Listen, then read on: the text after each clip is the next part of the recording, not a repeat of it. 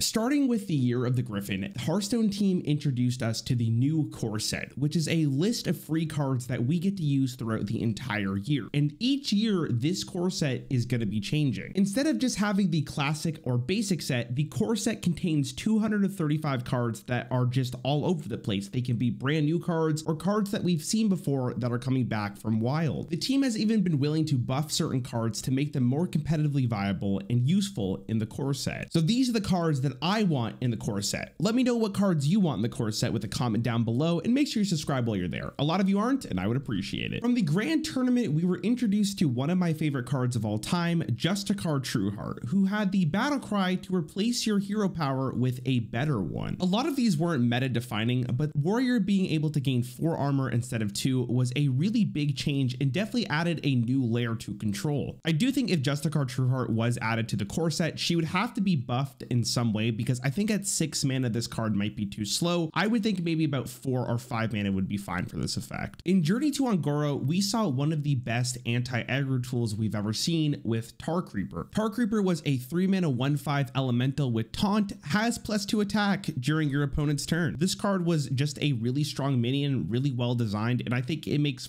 perfect sense to have in the core set. Especially if they want to slow the game down a little bit, Tar Creeper would be a perfect minion to have because every single class just likes a good taunt minion. With Rogue getting a bunch of new Burgle mechanics released in Fractured and Alterac Valley, a really cool card to have back from Rise of Shadows would be Underbelly Fence. Underbelly Fence was a 2 mana 2 3 Rogue minion, Battle Cry if you're holding a card from another class, gain plus 1 plus 1 and Rush. This card was fun because it didn't feel oppressive but it also felt like it was good enough to see play in almost any Burgle deck. It was good against tempo matchups, and it was just a fine minion against other slower decks. With Druid losing Overgrowth and Lightning Bloom, I think Druid does need a little bit more ramp to keep the class identity intact, and I think one of the best ways of doing this was with Greedy Sprite, which was a 3 mana 3-1 Death Rattle gain an empty mana crystal. Now, I do think they might have to buff this to 2 mana for it to actually see play, but I do like the way this card is designed, and it's a healthy way of ramping and Druid. This might be a hot take, but in Rise of Shadows, they introduced Warrior into the bomb mechanic, which basically shuffled bombs into your opponent's deck, and when they drew them, they would explode, dealing damage to the enemy hero. And the reason I want bombs back in is because a lot of classes draw a lot of cards, and especially in a combo-oriented deck, they draw a lot of cards. But with bombs shuffled in their deck, it becomes a lot more punishing, and I think that kind of counterplay would be really nice to have back in standard. They also just printed Kazakus, which could be used in order to counter the bombs in your deck by completely replacing it. It just seems like an absolute win. So adding Wrenchcalibur, which was a 4 mana 3-2 weapon for Warrior, after your hero attacks, shuffle a bomb into your opponent's deck, and Clockwork Goblin, which is the same thing but on a battle cry. Both of these cards added to the core set would be a very nice way to deal with combo decks. Another card that could do virtually the same thing is the Darkness, a 4 mana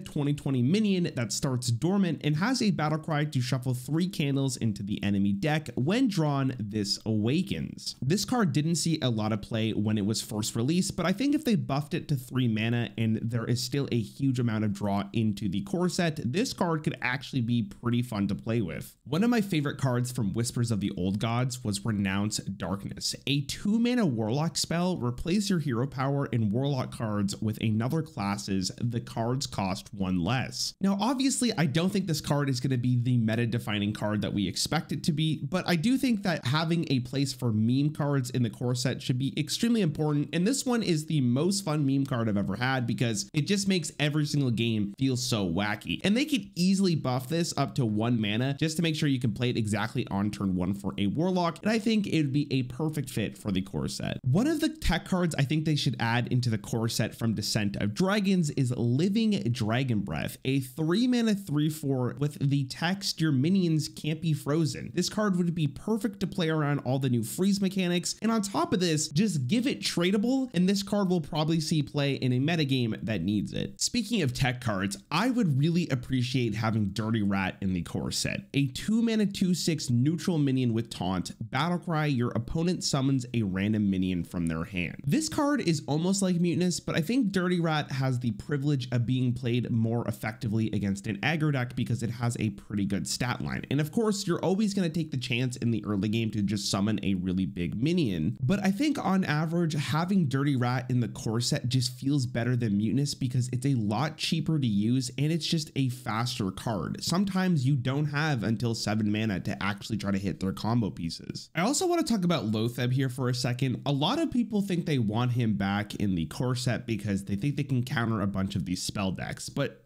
Loatheb was mainly used as a finisher for aggro decks, and I don't think we want Loatheb back in the game. From Rise of Shadows, Big Mage got a huge increase of power level because of a very special legendary Kalecgos, a 10 mana 412 dragon. Your first spell each turn costs zero, and it had the battle cry to discover a spell. In Alterac Valley, they wanted to make Big Spell Mage an actual archetype, and this card would be a perfect fit for the class, especially because they added Drakefire Amulet in the new mini set, which is the ability to discover two dragons and summon them. It seems like this would go hand in hand. Speaking of promoting a slower mage archetype, Arcane Artificer is a perfect example of a card that actually wants Control Mage to work, which is a 1 mana 1 2 elemental whenever you cast a spell, gain armor equal to its cost. It's simple. You put big spells in the core set, and you recently released big spells in Fracture and Alterac Valley. Arcane Artificer promotes a slower archetype. The puzzles just come together. I would really appreciate having Shield Block back for Control Warrior. I thought that card was completely fine, and it just felt so good to play in any slower warrior deck. You know they gotta add Boulder Fist Ogre back to the core set. It's honestly should be illegal for them to take it out of the core set. It's the best card, it's perfectly balanced, it has great cost for the stats, like come on. One card I think they should keep in for sure is Talon Fordring. I think that card is extremely well designed. It's a good mid-range tool, it helps you get your win condition, and I think that's pretty good for the game to have a consistent draw engine like that. Now, rather than talking about the cards that I want to stay in, let's talk about some cards that I would really appreciate if the Hearthstone team could take out of the core set. Number one on the list, Shadow Step. This card has seen play all the way since closed beta because of how powerful the effect is. It would be nice to get a little break from the card. Take all of the discard mechanics that you gave to Warlock in their core set because it literally did nothing and it just took up space. There's so many cooler Warlock cards to be added in. Shadow